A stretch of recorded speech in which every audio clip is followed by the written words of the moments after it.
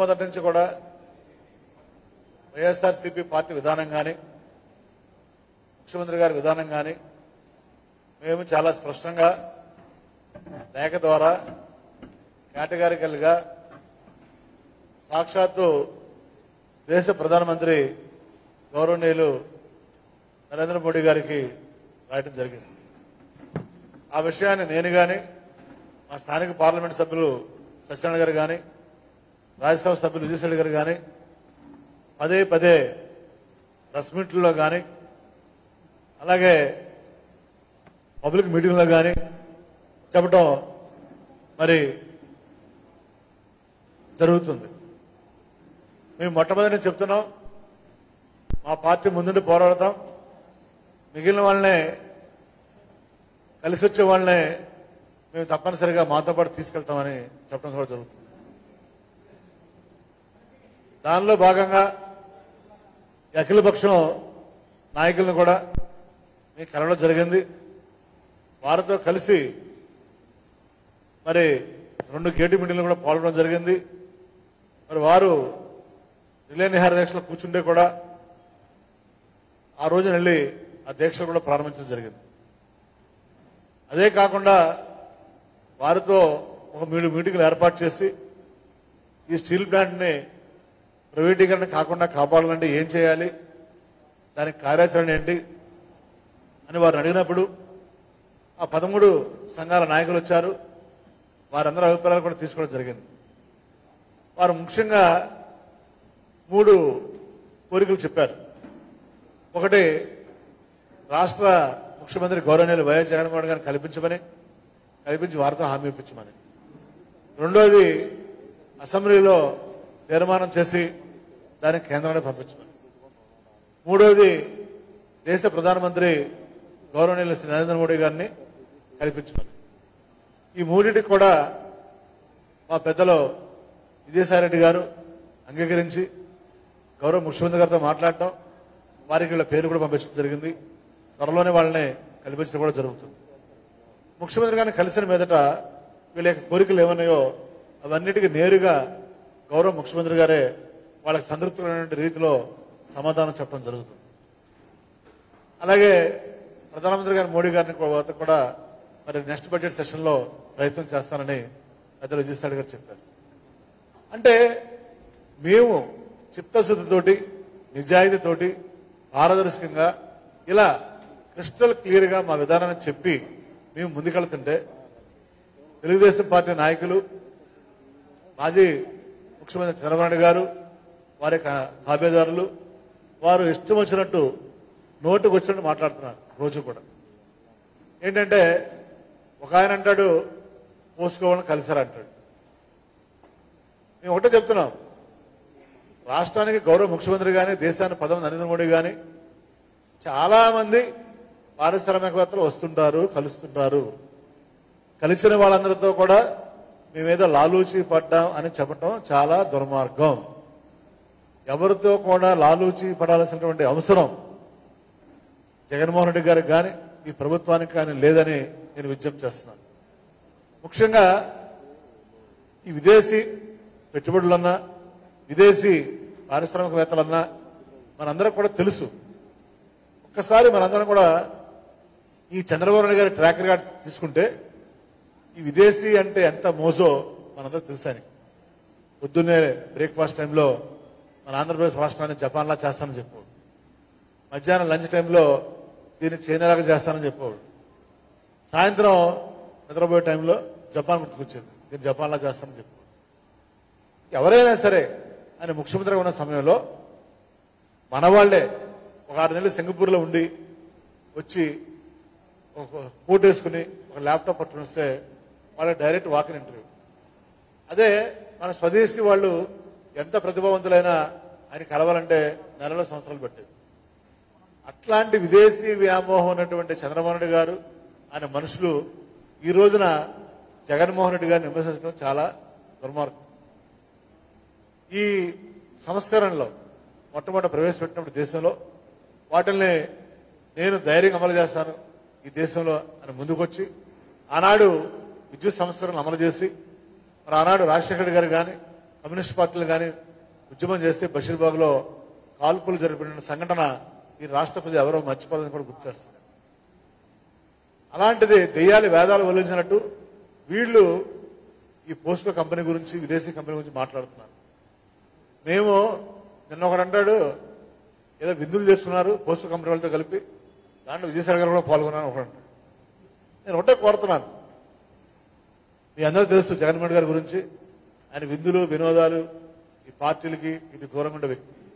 ఎవరైనా వస్తే కలుస్తారు మాట్లాడతారు. అది మన రాష్ట్ర ప్రజలను దెబ్బతినకుండా. మరి ఈ రకంగా మనం దీన్ని కావాలని కావాలని నిన్న ఒక ఆయన అంటాడు ఈ స్టీల్ ప్లాంట్ ప్రైవేటీకరణకి జగన్మోహన్ రెడ్డి గారే కర్త కర్మ క్రియ. దాని విజయసాయి గారు కీలక పాత్ర పోషించారని అచ్చెన్నాయుడు చెప్తాడు. అచ్చెన్నాయుడు నోటికి ఎంతో సంత మాట్లాడుతున్నాడు. చాలా దుర్మార్గంగా నోరుంది కదా అని. ఆయన మరి రెండు సార్లు జైలుకు పోవచ్చినా కూడా బుద్ధి రాలి అచ్చెన్నాయుడికి. అచ్చెన్నాయుడికి ప్రజలు ఆ టెక్కల ప్రజలు బుద్ధి చెప్తారు. మరి మొన్న కూడా స్థానిక సంస్థలు బుద్ధి చెప్పారు. అయినా కూడా పెద్ద ఆయన వీరుల్లా వచ్చి ఇక్కడ మాట్లాడుతున్నాడు. స్టీల్ ప్లాంట్ గురించి మొన్న చెప్పాడు ఆయన ఆయనంత దుర్మార్గుడు ఆయనంత దోపిడీ దోరుడు నేను ఒకటే కోరుతున్నాను ఈ రోజున ఈ పోస్కో గురించి మాట్లాడే వాళ్ళందరూ కూడా ఈ నాయకులందరూ కూడా మరి రెండు వేల పద్దెనిమిదిలో ఆ ప్రపోజల్ వచ్చినమాట వాస్తవం కాదా? అప్పుడు చంద్రబాబు నాయుడు తెలియదా? అప్పుడు ప్రధానమంత్రి నరేంద్ర మోడీ గారు లేరా? ఎందుకు? మన రాష్ట్రంలో మనం మీరు నాలుగంటే మేము పది అంటాం ఒకళ్ళ వాళ్ళు తిట్టుకుంటాం. ఒకళ్ళొకళ్ళు ఒకళ్ళ బుర్ర చల్లటం. ఇంకా వాళ్ళ అబ్బాయి లోకేష్ గారు గురించి ఎంత తక్కువ మాట్లాడినా అంత మంచిది. వాళ్ళకి ఎంత రాష్ట్ర రాష్ట్ర ప్రయోజనాల కంటే రాజకీయ ప్రయోజనాలు ఇంపార్టెంట్ అని చెప్పడానికి ఒకటే తెలుస్తున్నాం వాళ్ళ మాజీ శాసనసభ్యుడు ఆమనహర దీక్ష శాస్త్రి వచ్చాడు. చూశాడు. సంతోషం. పక్కనే స్టీల్ ప్లాంట్ గేట్ దగ్గర. మరి ఒక ఇరవై మూడు సంఘాలు ఐక కార్యాచరణతోటి ఈ స్టీల్ ప్లాంట్ పరిరక్షణ సమితిని పెట్టి వాళ్ళు దీక్షలు చేస్తుంటే కనీసం వాళ్ళు వెళ్ళి పలక పరామర్శించేటువంటి టైం కానీ ఒప్పిక కానీ కూడా లేవాలి అంటే దీన్ని బట్టి ఏమర్థమవుతుందంటే తెలుగుదేశం పార్టీకి కానీ చంద్రబాబు కానీ ఎంతసేపు కూడా వాళ్ళ రాజకీయ ప్రయోజనాలే ఇంపార్టెంట్. రాష్ట్రంలో ఏది జరిగినా రాష్ట్రానికి సంబంధం లేకపోయినా జగన్మోహన్ గారికి సంబంధం లేకపోయినా ప్రతిదానికి కూడా జగన్మోహన్ గారి మీద బుర్ర దానికి మళ్ళీ విజయసాయి గారు తగిలించడం మేము చెప్తున్నాం మా విధానం చాలా స్పష్టంగా ఉంది. మా విధానం చాలా స్పష్టంగా ఉంది. పార్లమెంట్ లోపల కానీ పార్లమెంట్ బయట కానీ మా పార్లమెంట్ సభ్యులు మాట్లాడారు.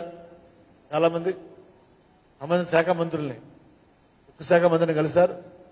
మన ఫైనాన్స్ మినిస్టర్ని కలిశారు. హోమ్ మినిస్టర్ని కలిశారు. మా పార్టీ విధానం ఏంటి? మన రాష్ట్ర ప్రజల యొక్క మనోభావాలు ఏంటి? ఈ ప్రజల యొక్క సెంటిమెంట్ ఏంటి? అవన్నీ కూడా క్షుణ్ణంగా కేంద్ర ప్రభుత్వం దృష్టికి తీసుకెళ్ళడం జరిగింది. అలాగే నిన్న బీజేపీ వారు కూడా కలిశారు. వారు కూడా చెప్పడం జరిగింది. నేను ఒకటే కోరుతున్నా. ఈ తెలుగుదేశం పార్టీ నాయకులు చంద్రబాబు నాయుడు గారు నిజంగా దమ్ము ధైర్యం నిజాయితీ చిత్తశుద్ధి ఉంటే దేశ ప్రధానమంత్రి నరేంద్ర మోడీ గారికి కనీసం లెటర్ రాసే దమ్ము కూడా లేదా? చంద్రబాబు నాయుడు ఈ స్టీల్ ప్లాంట్ని ప్రైవేటీకరించొద్దని. నీ పోరాటం గల్లీలో చేస్తావా? ఢిల్లీలో చేస్తావా? ఇంతవరకే అసలు లెటర్ ఎందుకు రాలని ప్రధాన ప్రతిపక్ష నాయకుడిగా నీకు బాధ్యత ఉందా లేదా? ఒక రాష్ట్ర ముఖ్యమంత్రి హోదాలో ఐదు కోట్ల మంది ప్రతినిధిగా గౌరవనీయులు వైఎస్ జగన్మోహన్ రెడ్డి గారు ఒక లెటర్ రాశారు. ఈ ఆంధ్రప్రదేశ్ ప్రభుత్వానికి కానీ ఆంధ్రప్రదేశ్ ప్రజలకు కానీ ఈ స్టీల్ ప్లాంట్ ప్రైవేటీకరణ నిర్ణయంతో విభేదిస్తున్నాం. కేటగారికల్గా దాన్ని ఎట్లా రివైవ్ చేయొచ్చు? ఒకటేమో గనులు ఇవ్వాలి కొంత గనులు ఇవ్వాలి స్టీల్ ప్లాంట్ కానీ రెండోది ఆ లోన్స్ ఈక్విటీ కింద మార్చాలని. ఇలా కేటగారికల్గా నాలుగైదు సొల్యూషన్స్ చెప్తూ రాశారు ఆయన. అలాంటి లెటర్ నువ్వు దేశ ప్రధానమంత్రి లెటర్ రాసే ధైర్యం ఉందా లేదా నీకు? ఒకటి అడుగుతున్నా. అది లేకుండా ఎంతసేపు ఎక్కడెక్కడ మాట్లాడటం? కొంతమంది రాజీనామాలు అంటారు కొంతమంది నామనాధ్యక్షులు అంటారు. మీ అబ్బాయి వస్తాడు మీ పార్టీ వాళ్ళని పలకరిస్తాడు మిగిలిన వాళ్ళని పట్టించుకోడు. మేము ఒకటే విజ్ఞప్తి చేస్తున్నాం. ఈ ప్రభుత్వం కానీ ఈ పార్టీ కానీ మా ప్రజాప్రతినిధిగా మేము కానీ మేమందరం కూడా చిత్తశుద్ధితో ఉన్నాము. స్టీల్ ప్లాంట్ ప్రైవేటుగా నిర్ణయాన్ని వ్యతిరేకిస్తున్నాము. దీంట్లో ఎలాంటి చీకటి ఒప్పందాలు లేవు. ఎలాంటి చీకటి ఒప్పందాలు కూడా లేవు. నిన్న గారంటే సబ్బన్ గారు అంటాడు జగన్మోహన్ గారు మాట్లాడాలి లేకపోతే ఆయన రాక్షసుడు ప్రపంచం లేడాడు. మరి ఆ రాక్షసుడు కొడుకే రాజశేఖర రెడ్డి గారే కదా నీకు ఎంపీకి పంపించింది? అంటే వీళ్ళు నోటికి ఎంత వస్తుంది మాట్లాడటం. అద్దు పద్దు లేదు. ఒక రాష్ట్ర ముఖ్యమంత్రిని పట్టుకుని వీళ్ళు నోటికి అద్దు మాట్లాడటం. దయచేసి ఒకటే చెప్తున్నాం మేము. మా ఓర్పుని సహనాన్ని మీరు పరీక్షించొద్దండి. మీరు నాలుగంటే మేము పది అనగలం. మేము ఇప్పుడు కూడా చంద్రబాబు నాయుడు గారు అని మీరు- మేము మాట్లాడుతున్నాం కానీ అనేది వ్యక్తిగతంగా కానీ ఇంకో రకంగా విమర్శించట్లేదు. అది మన ప్రాంతం యొక్క ఈ సంస్కారం కాదు సంస్కృతి కూడా కాదు. దయచేసి విధానపరంగా మనం మాట్లాడదాం. మీ విధానం మీరు చెప్పండి మా విధానం మేము చెప్తాం. తప్పనిసరిగా మీరు కలిసి వస్తే నేను తీసుకెళ్తాం మాట్లాడతాం. రెండోది నేను అంటాడు ఆయన అచ్చెన్నాయుడు ఈ రాష్ట్ర ముఖ్యమంత్రి ఒక బచ్చా మా నాయకుడితో పోటీ కంపేర్ చేస్తే చెప్తాను. మీ నాయకుడిలాగా ఈ రాష్ట్ర ముఖ్యమంత్రి ఎవరిని వెన్నుపూడిపడిచి రాలేదు. అచ్చెన్నాయుడు కొంత మామని వెన్నుపడిపడిచిన విషయంలో ఈయన చిన్నోడే కరెక్ట్. ఈయనకి తెలిసింది ఒకటే ఆయన ఏం చేద్దానంటాడో చెప్తాడు జగన్మోహన్ రెడ్డి గారు. ఏం చేయగలడో చెప్తాడు. చెప్పిందే చేస్తాడు. అంతేగాని పొద్దున మాట సాయంత్రం మాట లేదా వెన్నుపోటు రాజకీయాలు ఇవన్నీ కూడా తెలియదు అని రెండోది మొన్న ఎలక్షన్ కమిషన్ అడ్డు పెట్టుకునే ఏదో సాధించాలని మమ్మల్ని ప్రయత్నం చేశారు. కుట్ర పన్నారు. ఏం చేశారు? ఎనభై ఐదు నుంచి తొంభై శాతం పంచాయతీ ఎన్నికలు ప్రజలు మా పక్షం ఉన్నారని గెలిచి చూపించారు. రేపు రాబోయే రోజుల్లో మున్సిపల్ ఎలక్షన్స్లో కూడా కార్పొరేషన్ ఎలక్షన్స్ కూడా ప్రజలు ఏకపక్షంగా వైఎస్ఆర్సీపీ పార్టీకి ఓటేయడం సిద్ధంగా ఉన్నారు. సో ప్రజల్లో గెలిచే సత్తా లేక మీకేదో మీడియా ఛానల్స్ ఉన్నాయని డబ్బులు ఉన్నాయని నోటుకొచ్చినట్టు మాట్లాడటం నోటుకొచ్చి విమర్శించడం అది మంచి పద్ధతి కాదు.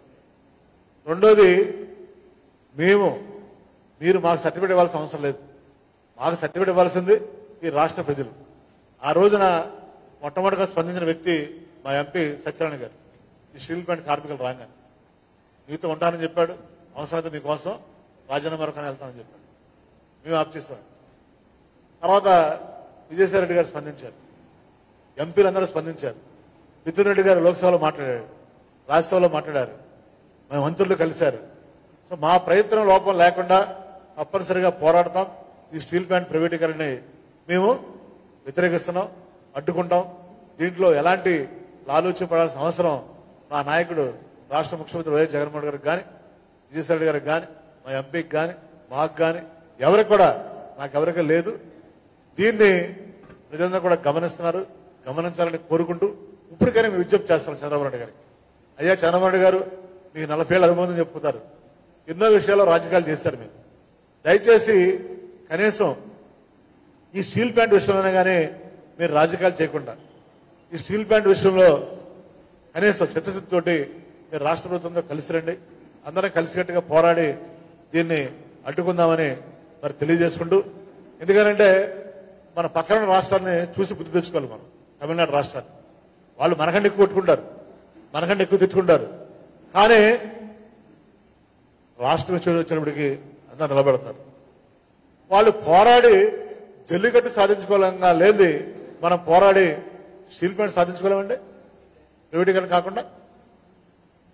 కాబట్టి దయచేసి చంద్రబాబు నాయుడు గారు ఈ నీచ నికృష్ట రాజకీయాలకి ఫుల్ పెట్టండి. రాష్ట్ర ప్రయోజనాల పరిరక్షణ ధ్యేయంగా పనిచేయండి. తప్పనిసరిగా మనందరం కూడా కలిసికట్టుగా పోరాడి కేంద్రం మీద ఒత్తిడి తీసుకొద్దాం. ఈ స్టీల్ ప్లాంట్ పరిరక్షించుకుందాం. మరి దానిలో భాగంగానే రేపు శనివారం రోజు తారీఖు అంతా ఇరవై తారీఖున ఈ యొక్క మా యొక్క voice of the YSRCP voice of the government ప్రజల్లోకి బలంగా వెళ్ళే విధంగా మేము జీవీఎంసీ మహాత్మా గాంధీ విగ్రహం దగ్గర పాదయాత్ర మొదలుపెట్టి మరి లేదా నియోజకవర్గాలు దాటుకుని గాజువాక స్టీల్ ప్లాంట్ వరకు వెళ్ళి ఆ స్టీల్ ప్లాంట్లో మరి మీటింగ్ పెట్టడం కూడా జరుగుతుంది. అది అఖిలపక్షం ఏర్పాటు చేసే కార్యక్రమాలన్నీ కూడా మేము అటెండ్ అవ్వడం జరుగుతుంది. మేము రాజకీయంగా అధికారంలో ఉన్నా కూడా మాకు ఎలాంటి బ్యాషాలు లేవు. ఆ పార్టీ చిన్నదా పెద్దదా ఎంతమంది నాయకులు ఉన్నారు ఎంతమంది కార్మికులు ఉన్నారు చోట్ల మేము. మా చిత్తశుద్ధితో ఉన్నాం. మాతో కలిసి వచ్చే అందరితో కూడా చిత్తశుద్ధితో పోరాడతాం. తెలియజేసుకుంటూ మరి రేపు ఇరవై తారీఖున జరగబోయేటువంటి మహాపాదయాత్ర ఈ మహాపాదయాత్రలో ఈ నగర ప్రజలందరూ కూడా స్వచ్ఛందంగా వచ్చి పాల్గొని తమ యొక్క మద్దతుని తెలియజేయవలసిందిగా వారందరికీ నేను పత్రికాముఖంగా విజ్ఞప్తి చేస్తూ తప్పనిసరిగా ఈ స్టీల్ ప్లాంట్ కోసం ఎంతవరకైనా వెళ్తాం. రాజ్యాలను పోరాటం చేస్తాం. ప్రైవేటీకరణ కాకుండా అడ్డుకుంటాం సాధిస్తామని తెలియజేసుకుంటూ సలహా తీసుకుంటున్నాను. అతను వీసారు గారు మరి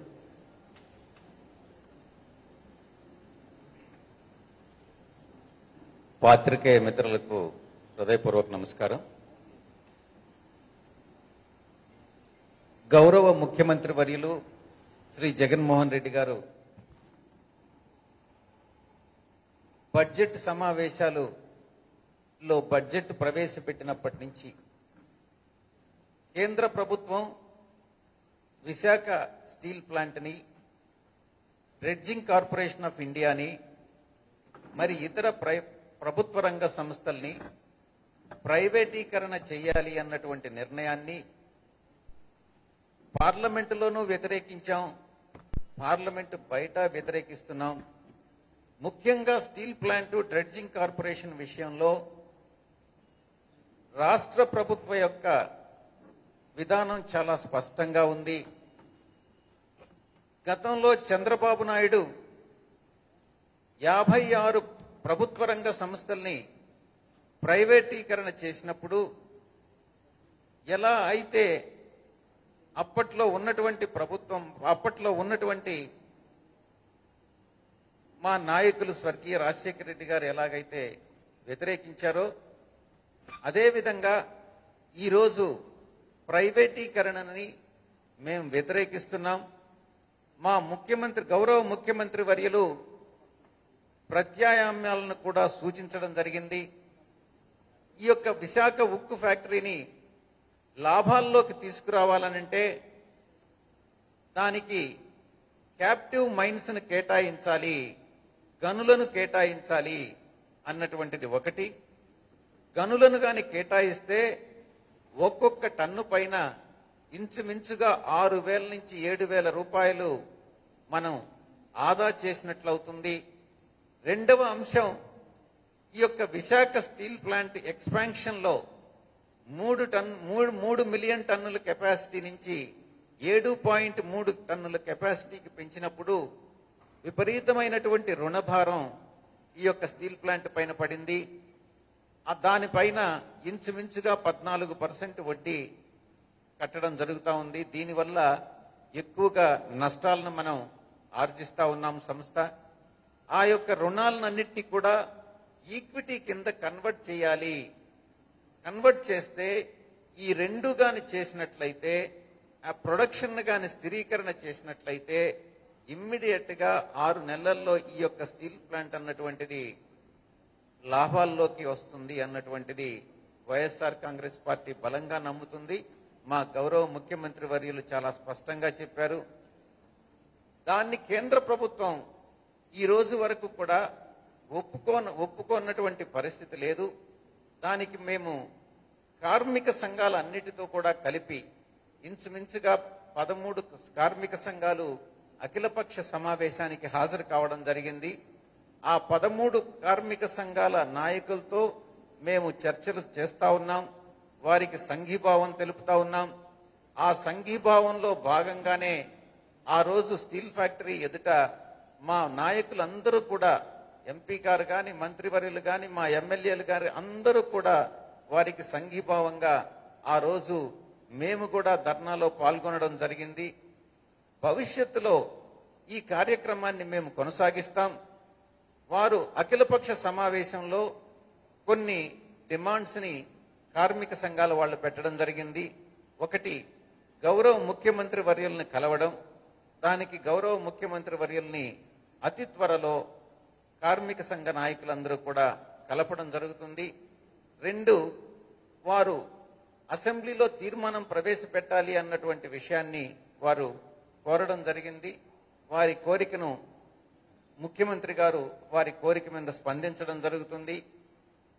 మరి ఇతర డిమాండ్లన్నింటినీ కూడా వారు ముఖ్యమంత్రి గారి ముందు పెట్టడం జరుగుతుంది. త్వరలో ఆ యొక్క సమావేశాన్ని ఏర్పాటు చేయడం జరుగుతుంది. ఇక ప్రైమ్ మినిస్టర్ గారితో అపాయింట్మెంట్ వారు అడగడం జరిగింది. ప్రైమ్ మినిస్టర్ గారి అపాయింట్మెంట్ కోసం కార్మిక సంఘాల నాయకులకి ఆయన అపాయింట్మెంట్ ఇస్తారో లేరో తెలియదు కానీ కార్మిక సంఘాలకు అనుబంధంగా ఉన్నటువంటి రాజకీయ పార్టీలు ఏదైతే ఉన్నాయో సిపిఐ కావచ్చు సిపిఎం కావచ్చు మరి ఇతర కాంగ్రెస్ ఇతర పార్టీలు కావచ్చు వారందరి పార్లమెంటు సభ్యులతో పా- ప్రైమ్ మినిస్టర్ గారు ప్రధానమంత్రి గారి అపాయింట్మెంట్ కోరడం జరుగుతుంది. తప్పకుండా ప్రధానమంత్రి గారు అపాయింట్మెంట్ ఇస్తారని మేము భావిస్తా ఉన్నాం. ముఖ్యమంత్రి గారు కలుస్తారు. ప్రధానమంత్రి గారిని అపాయింట్మెంట్ అడుగుతాం. అది కాకుండా భిన్నంగా ఏదో దీక్ష చేయడం అన్నటువంటిది కాదు. దీక్ష చేసి పోలీసు వాళ్ళను బతిమలాడుకొని నేను దీక్షలో కొనసాగించలేకున్నాను నన్ను లిఫ్ట్ చేయండి అని నన్ను అడిగేదానికన్నా చిత్తశుద్ధితో ఏం చేస్తే స్టీల్ ప్లాంట్ ప్రైవేటీకరణ జరగకుండా ఉంటుందో ఆ కార్యక్రమాలన్నింటినీ కూడా చేయడం జరుగుతుంది. దాంట్లో భాగంగానే ఇరవయవ తారీఖు ఉదయం ఎనిమిది గంటల ముప్పై నిమిషాల నుంచి జీవీఎంసీ ఎదుట ఉన్నటువంటి గాంధీ విగ్రహం దగ్గర నుంచి అన్ని అన్ని- అన్ని నియోజకవర్గాలు కవర్ చేసుకుంటూ సౌత్ దగ్గర నుంచి ఈస్ట్ నార్త్ వెస్ట్ గాజువాక అన్ని నియోజకవర్గాలు కవర్ చేసుకుంటూ ఒక స్టీల్ ప్లాంట్ ప్రయోజనాలను కాపాడే దానికోసంగా ఒక సంకల్ప యాత్ర దాని దాని పేరుని దాన్ని ఒక పేరు. Steel plant Visakhapatnam steel plant పరిరక్షణ పోరాట పరిరక్షణ పోరాట యాత్ర. స్టీల్ ప్లాంట్ పరిరక్షణ పోరాట యాత్రగా దీన్ని మేము భావిస్తూ దాన్ని నామకరణ చేసుకుని అన్ని నియోజకవర్గాలు కవర్ చేసుకుంటూ ఇంచుమించుగా ఇరవై మూడు నుంచి ఇరవై ఐదు కిలోమీటర్లు మేము నడుచుకుంటూ వెళ్ళి అక్కడ సమావేశం స్టీల్ ప్లాంట్ ఎదురు ఎదుటగా సమావేశమై మా యొక్క ప్రొటెస్ట్ అన్నటువంటి దాన్ని వైఎస్ఆర్ కాంగ్రెస్ పార్టీ ప్రొటెస్ట్ చేస్తా ఉంది ప్రైవేటీకరణకు వ్యతిరేకంగా అన్న దాన్ని ఇక్కడ నుంచి విశాఖపట్నం నుంచి ఢిల్లీకి వినబడే రకంగా మేము తెలియచేయడం జరుగుతుంది. దీనికి సంబంధించి ప్రైవేటీకరణకు వ్యతిరేకంగా ఏ కార్యక్రమం చేయాలనో ఆ కార్యక్రమాలన్నీ చేసేదానికి వైఎస్ఆర్ కాంగ్రెస్ పార్టీ సిద్ధంగా ఉంది. దీంట్లో ఎటువంటి రాజీ ప్రసక్తి లేదు అన్నటువంటి విషయాన్ని స్పష్టంగా చెప్తా ఉన్నాం. చంద్రబాబు నాయుడు గారి లాగా డ్రామాలు ఆడేటటువంటి అలవాటు మాకు లేదు. మా మా నాయకుడు ఉన్నది ఉన్నట్టుగా చెప్తారు చెప్పింది చేస్తారు. మీరు ఆయన డ్రామాలను నమ్మొద్దు. మేము చేసి చూపిస్తామని మీ అందరికీ కూడా తెలియజేస్తున్నాం. ఏదైనా ప్రశ్నలు ఉంటే అడగండి.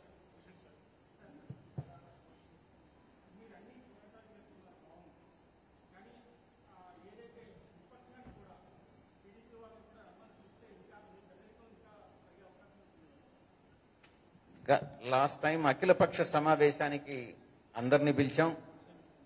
స్వయంగా మంత్రి గారే పిలిచారు.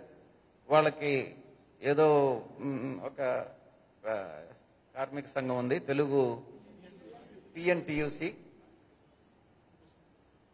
వాళ్ళెవ్వరు కూడా అఖిలపక్షానికి రాలేదు. వాళ్ళ దగ్గర నుంచి ఎటువంటి స్పందన లేదు. ఇంకా వాళ్ళ దగ్గర నుంచి స్పందన లేనప్పుడు మనం చేయగలిగింది ఏం లేదు. థ్యాంక్ యూ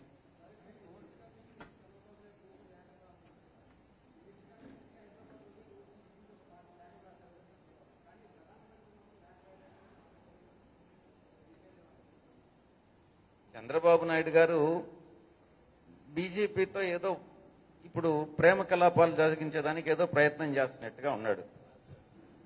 అదేదో రహస్యంగా ప్రేమ కలాపాలు జరపడం ఇట్లాంటి ఏదో చేస్తా ఉన్నాడు అనమాట అది మీరు చంద్రబాబు నాయుడు గారిని అడగండి ఆ ప్రశ్న. ఏం సార్? మీరు ప్రైమ్ మినిస్టర్ గారికి మాత్రం లెటర్ రాయరు ముఖ్యమంత్రి గారు లెటర్ రాశారు మీరు ఎందుకు రాయరు మీరు ఎలక్షన్ కమిషన్కి రాస్తారు లేకుండా ఇంకొక ఎవరికైతే అధికారం లేదో దాన్ని వాళ్ళకి మాత్రం మీరు రాస్తారు. నిజంగా నిర్ణయం తీసుకోవాల్సింది ప్రధానమంత్రి గారు కదా. ఆయనకి తప్ప మిగతా అందరికీ రాసే దాంట్లో ప్రయోజనం ఏంది అని మీరు చంద్రబాబు గారు నాయుడిని అడగండి. ఇది అంతర్గత విషయం. ఇది ఇటువంటిది అటువంటి ప్రతిపాదన ఏది లేదు.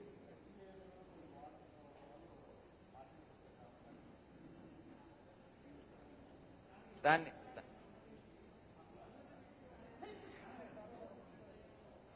మాట్లాడు.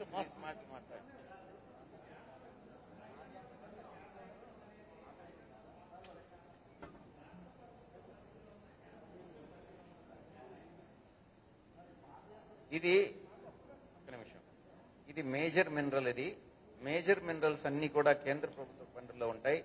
మైనర్ మినరల్స్ అన్ని కూడా రాష్ట్ర ప్రభుత్వ పరిధిలో ఉంటాయి. మ- ఇది మేజర్ మినరల్ కాబట్టి అది కేంద్ర గనులన్నీ కూడా కోల్ కానీ ఐరన్ ఓర్ గాని ఇటువంటి అన్ని కూడా కేంద్ర ప్రభుత్వ పరిధిలో ఉంటాయి.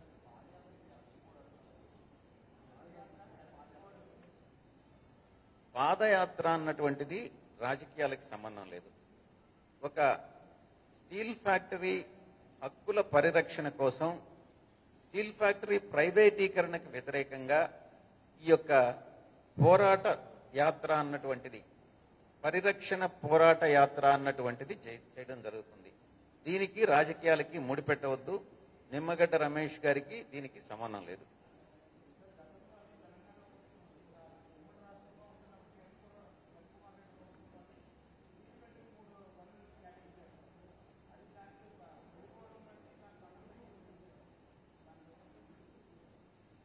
గతంలో నాకు ఫిగర్స్ గుర్తులేదు. కొంత అమౌంట్ని ఒరిస్సా ప్రభుత్వానికి చెల్లించడం జరిగింది. ఆ నా- నాలుగు వందల యాభై కోట్లు. ఆ తర్వాత ఒక వెయ్యి కోట్లు పెనాల్టీ కూడా దాని మీద వేయడం జరిగింది. సింహ భాగం దీంట్లో లాస్ వచ్చింది అని అంటే దాంట్లో ఇంచుమించుగా పదహైదు వందల కోట్లు దీనివల్లనే స్టీల్ ప్లాంట్ నష్టపోవడం జరిగింది. దాని మీద ఎటువంటి చర్యలు ఇంతవరకు తీసుకోలేదు. ఈ విషయాన్ని కేంద్ర ప్రభుత్వం దృష్టికి తీసుకొచ్చాం. మొన్న అఖిలపక్ష సమావేశంకు ముందు ఎక్కడ స్టీల్ ప్లాంట్ ముందు మేము ఆ ధర్నా చేశామో. అక్కడ కూడా ఈ విషయాన్ని చాలా స్పష్టంగా చెప్పడం జరిగింది. ఇది కాకుండా ఇంకా అక్కడ ఉన్నటువంటి చేసినటువంటి ఒక మేనేజింగ్ డైరెక్టర్ కావాల్సినటువంటి ఒక వ్యక్తి అంటే టాప్లో రెండో స్థానంలో ఉన్నటువంటి ఒక వ్యక్తి చాందన్ అనేటటువంటి వ్యక్తి దుర్వినియోగం చేసి కొన్ని వేల కోట్ల రూపాయల సొమ్ముని ఆయన దుర్వినియోగం చేయడం జరిగింది. లాసులు దాని వల్ల కూడా రావడం జరిగింది. దాని మీద కూడా ఏదో కంటినీటి తుడుపుగా ఏదో ఎంక్వైరీ చేశారే కానీ చిత్తశుద్ధితో దాన్ని చేయలేదు. ఆ విషయాన్ని కూడా మేము టేకప్ చేయడం జరిగింది.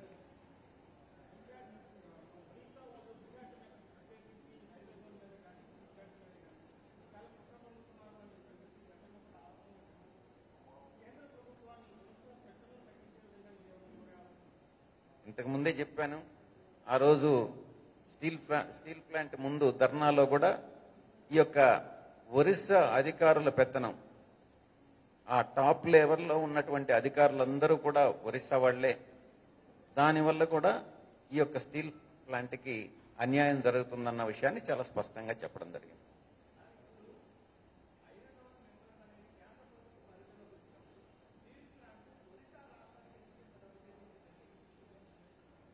గనులు అన్నటువంటివి ఏ రాష్ట్రంలో అయితే ఉన్నాయో వాళ్ళు దాన్ని ఆక్షన్కి పెట్టినప్పుడు ఆ ఆక్షన్లో కేంద్ర ప్రభుత్వం పర్మిషన్ తీసుకొని ఆ కేంద్ర ప్రభుత్వం దాన్ని ఆక్షన్కి పెడుతుంది. అది చెల్లించింది ఆ రోజు ఓ- ఓ ఒరిస్సా డెవలప్మెంట్ మినరల్ డెవలప్మెంట్ కార్పొరేషన్కి చెల్లించడం జరిగింది. దానికి కేంద్ర ప్రభుత్వం యొక్క అనుమతులు కావాలి. ఆ ఆక్షన్లో పార్టిసిపేట్ చేసి దాన్ని మనం సంపాదించుకోవాలి. దానికోసంగా కొంత అమౌంట్ పే చేయడం జరిగింది. అది తిరిగి రాలేదు మైన్స్ రాలేదు థ్యాంక్ యూ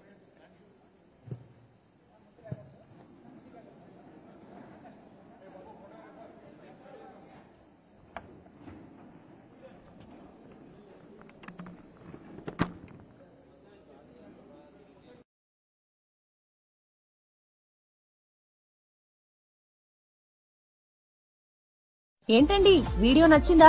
అయితే ఓ లైక్ వేసుకోండి. లేదంటే ఓ కామెంట్ చేయండి. ఎప్పటికప్పుడు మా వీడియోస్ చూడాలంటే సబ్స్క్రైబ్ చేసుకోండి.